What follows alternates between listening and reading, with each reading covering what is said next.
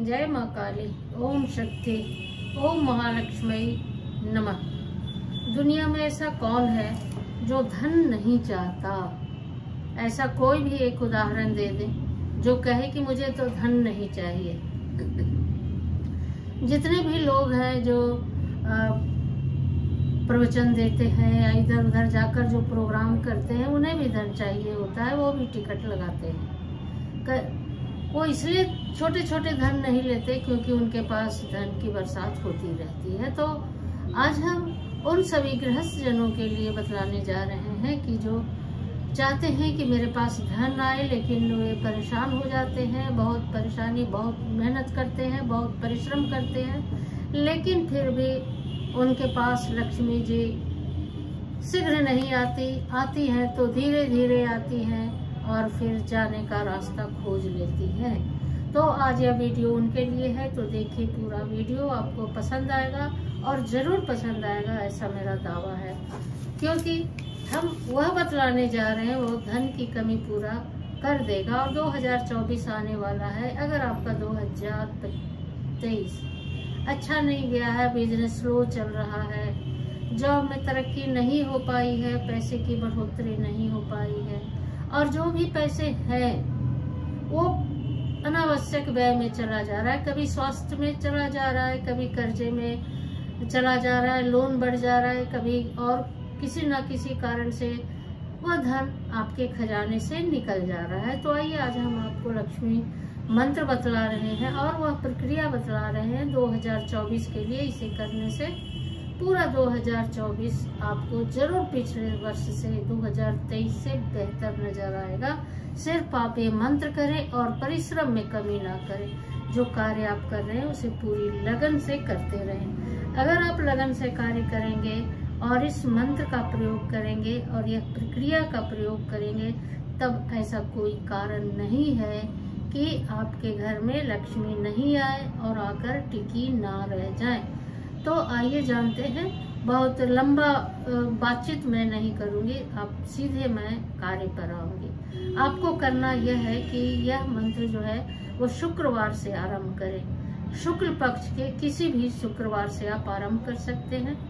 लेकिन ध्यान रहे, भाइयों बहनों, वह कृष्ण पक्ष ना हो। शुक्ल पक्ष से आप आरंभ करें, प्रथमा तिथि से ही आरंभ कर ले। और उसके बाद जब शुक्ल पक्ष पूर्णिमा आ जाए, तब कृष्ण पक्ष में जाप को रोके नहीं, लगातार जारी रखें। सिर्फ़ आरंभ करने का पक्ष होगा शुक्ल पक्ष। उसके बाद आप लगातार जारी रखेंगे। जितना मंत्र आप करेंगे, उतना आपको लाभ होगा।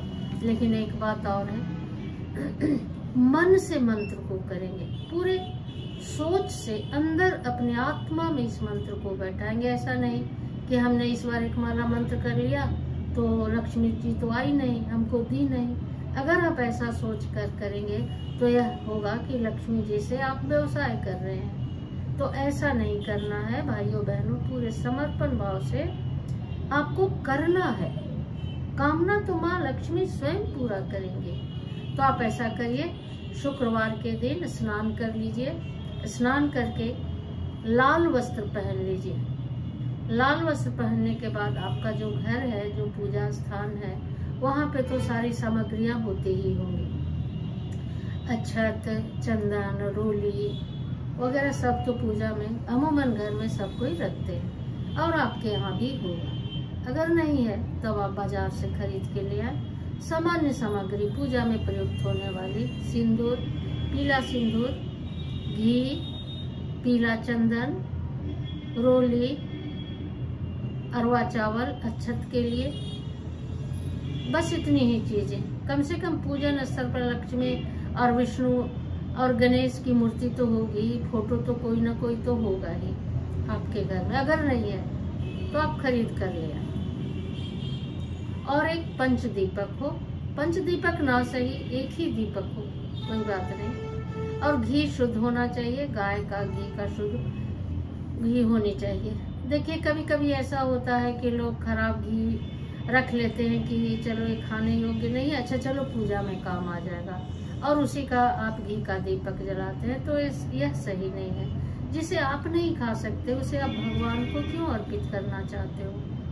वो ना करें। इसके अलावा, जिस डब्बे में आपने चावल रखा है और उसी से रोज आप घर में चावल बनाते हैं और उसी में से आप अच्छत निकाल के फिर रख लेते हैं, यह भी सही नहीं है।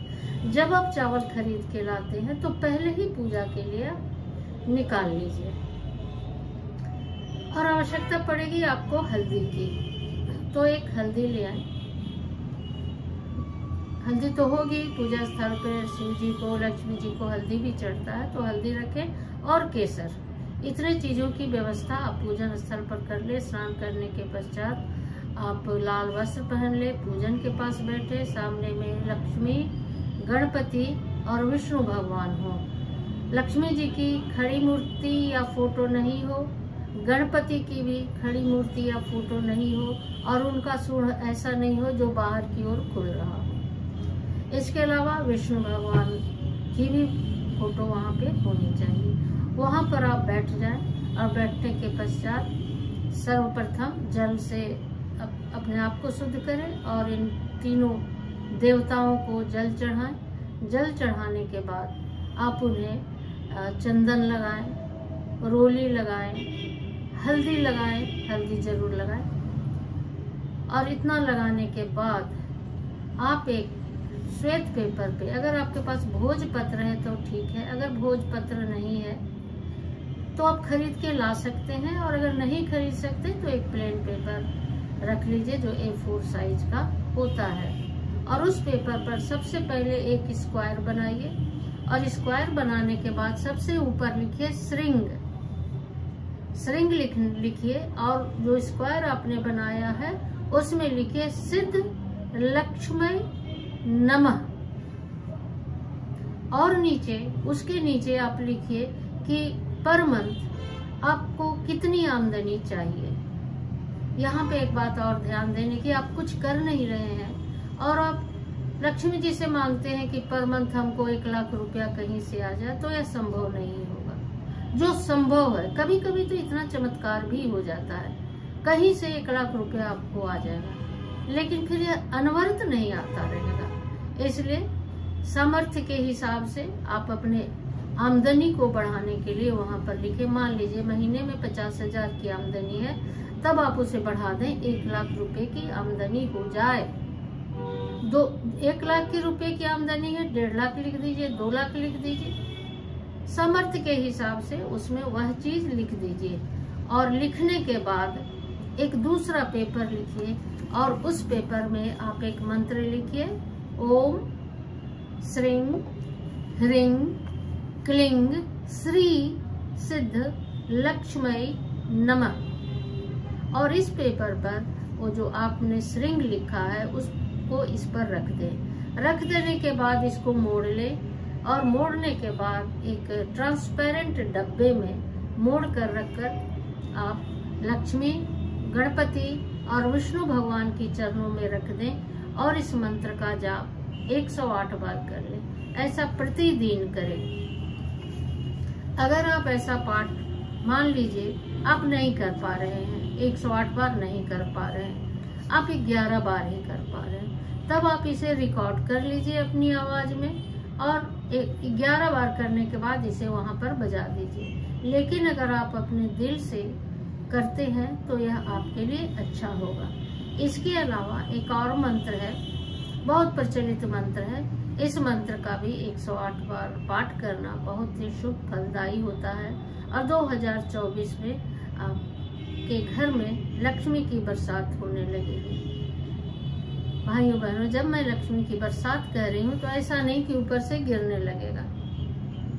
आपके घर में बच्चों की नौकरी नहीं है, सारे बच्चों को नौकरी लग जाएगी। आप घर में बैठे हुए हैं, आपको नहीं नौकरी लग रहा है, आपको लग जाएगा। इससे चारों ओर से धन आना स्टार्ट हो जाएगा। और यह मंत्र है, ओम महालक्ष्मी नमो नमः। जगत जननी नमो नमः। विष्णु प्रियाय नमो नमः। धन प्रदाय नमो नमः। इस मंत्र को आप कर ले 108 बार, और इसके आप कोई सीडी कैसेट, या पेन ड्राइव से, या मोबाइल से इस मंत्र को आप बजाएँ। सुबह और शाम शाम को आरती के समय भी आप इस मंत्र को अपने घर में बजा दें। और जब आप शाम को आरती करते हैं तो एक बार शंख ज़रूर बजाते हैं अगर आप शंख बजाते हैं तो ऐसा कोई कारण नहीं कि आपके घर में लक्ष्मी जी नहीं आएँगी।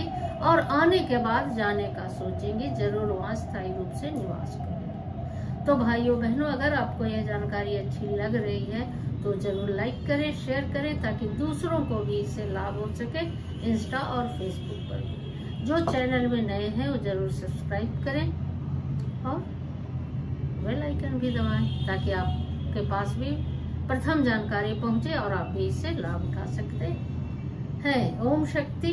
जय माँ काली।